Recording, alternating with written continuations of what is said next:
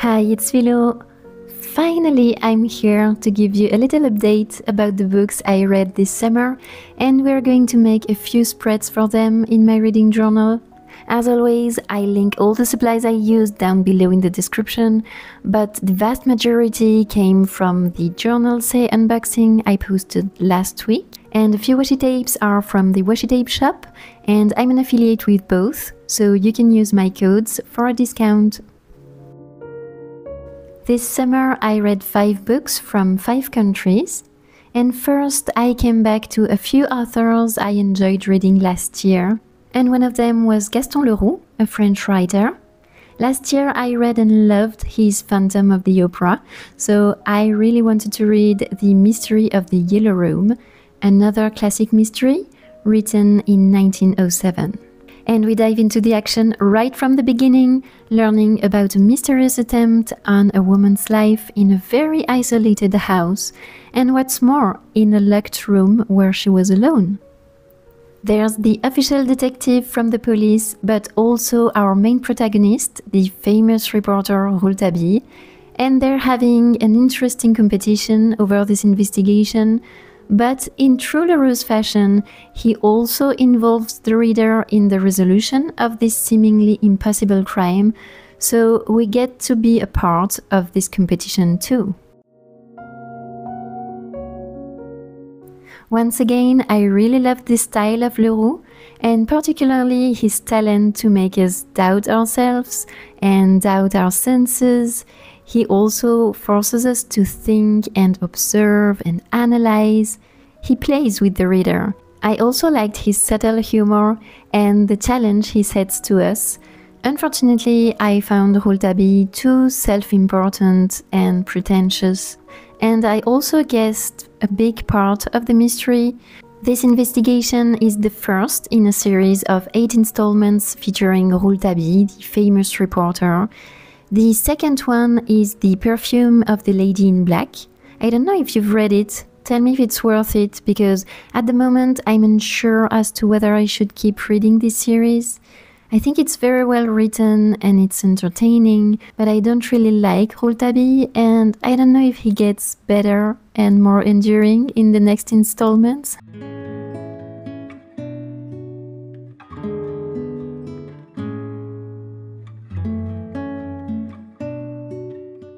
Anyway, it's always fun to look for specific elements of a book in my stationery collection. It's kind of a treasure hunt every month. Here, with a few washi tapes and stickers, I was able to recreate the atmosphere of the Yellow Room as I imagine it. In the end, I gave this book 3 stars, which is good, but it doesn't make it on the list of the books I would like to reread someday and I'm writing my thoughts with my brand new wooden fountain pen, kindly gifted to me by Ellington Pens. It's the Maple Harmony with an extra fine nib, and I have to say it's so nice and so smooth. It makes the whole journaling experience even better, and it feels like whatever I write is important, and I should probably sign at the bottom of the page, you know.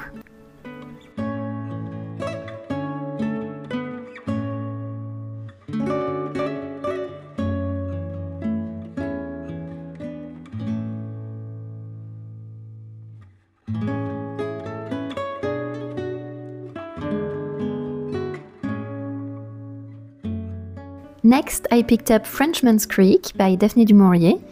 It's no secret that Daphne du Maurier is one of my favorite writers, and I've set myself the goal of reading all of her fiction books. So far, I've read four, including this one Rebecca, My Cousin Rachel, and Jamaica Inn. Daphne du Maurier is known for being the queen of Gothic, but here, the story is set in summer against the beautiful backdrop of Cornwalls, and she paints the portrait of Donna, a woman about to turn 30, married with two children, in full existential crisis, who escapes to the countryside craving some peace and quiet and freedom. And things happen. Maybe there's a creek, and maybe there's a heartless Frenchman on the loose. Not only is this story beautiful and full of suspense, but in this one she blends action, humor, and psychological depth masterfully.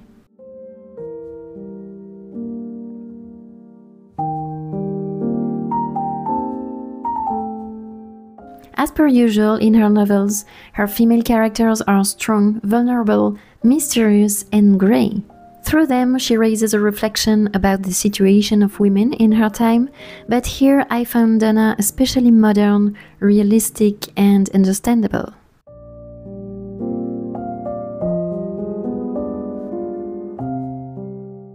Once again, her story and all of her characters are unforgettable, and she'll leave you thinking for a while.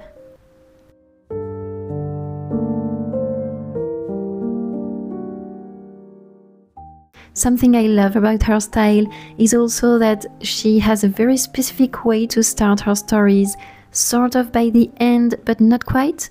So you know what's at stake, but you can't fully grasp it yet or guess anything. So it hooks you from the start, and from there she builds a strong suspense.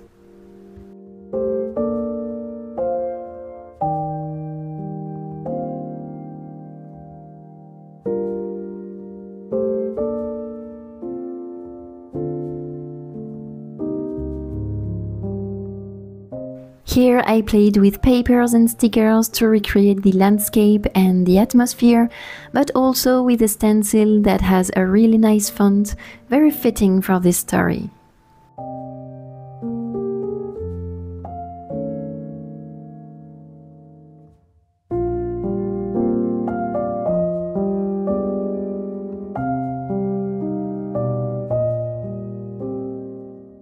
So it's an easy 5 stars.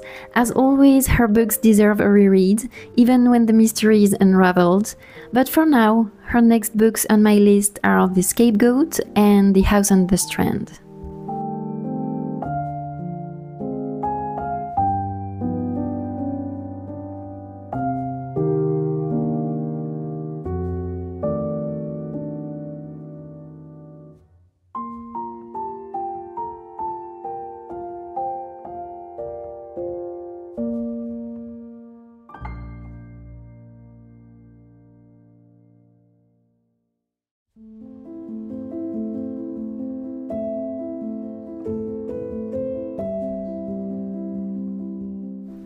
After that, I read The Namesake by Jhumpa Lahiri from the US and India. Last year, I read Interpreter of Maladies by the same author, and I really, really liked it. It's a short stories collection, so this time I wanted to dive more into her works with a full length novel. In this one, we follow a young Indian couple moving to the US and especially the life of their son from his birth to adulthood. Named after the Russian writer, Gogol Ganguly is torn between his Indian upbringing and his American life. So we get to see what's in a name through this immigrant experience going through two generations.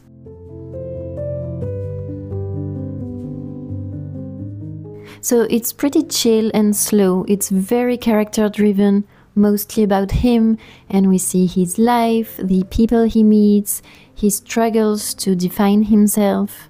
And there's a very nice reflection about identity and belonging and the existential struggle to call a place home.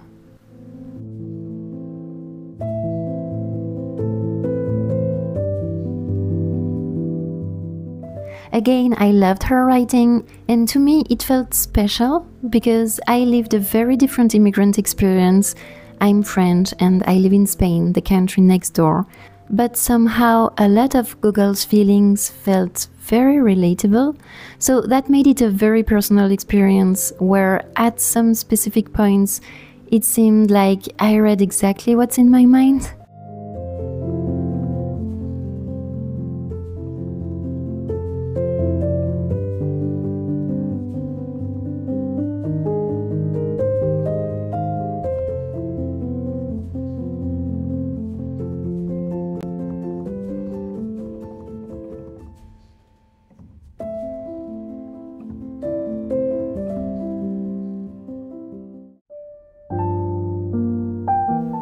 Then I read two books by authors I had never read before. First, All Systems Red by Martha Wells from the US. It's the first novella in the Murderbot series. So, this is a very short book, around 150 pages, and it got a few awards for Best Sci Fi in 2017. Here, we're in a corporate dominated future where a self aware security android is working for humans and augmented humans who explore planets for resources. He's not a huge fan of social interactions and he would rather like to be left alone and watch series. And there's also a kind of thriller going on. Things start going mysteriously awry.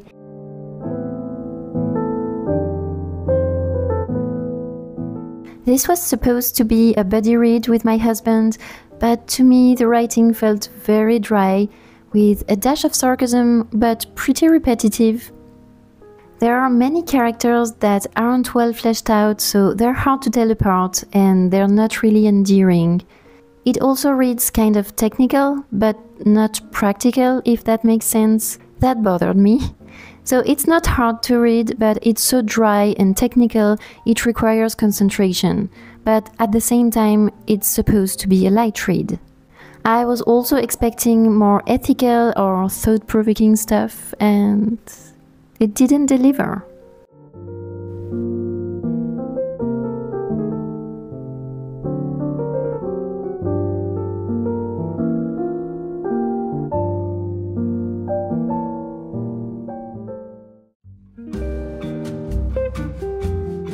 Last, I read The Restlessness of Shanti by Pío Baroja from Spain.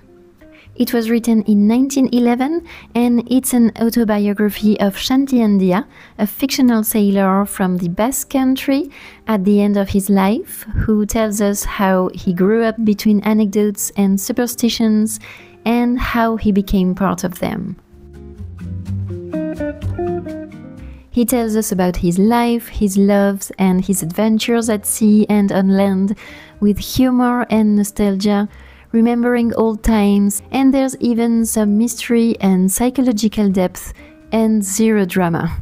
So it's a realistic and melancholic portrait of his time through the epic story of Shanti's not so heroic deeds, where half of it happens in spite of him, but he's glad to improvise. It's very chill and laid back, especially the first half of the book, and then it gets way more adventurous, but it still feels peaceful somehow. It's very refreshing.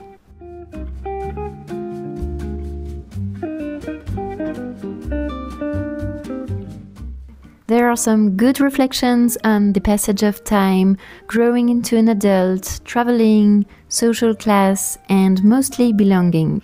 His descriptions of landscapes are beautiful, and his portraying of people are frankly comical. This one can be read as a standalone, but it's the first in the series called Sea. It's easy to read and entertaining, and I think anybody would like it. It reminds me of the posthumous memoirs of Blas Cubas, though you get to like Shanti way more than Blas, and it's also clearly influenced by Stevenson.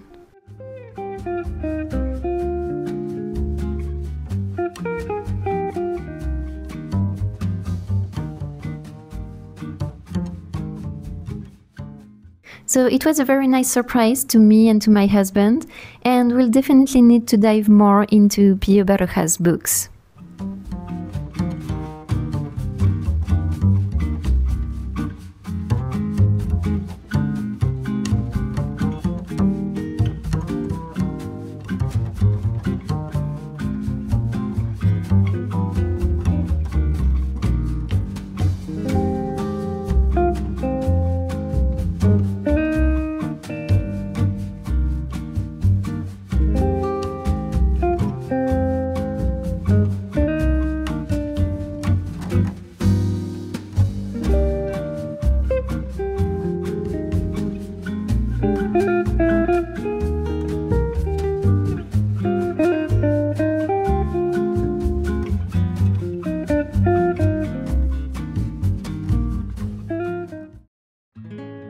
Time to flip through these reading journal spreads. Here is everything I read this summer.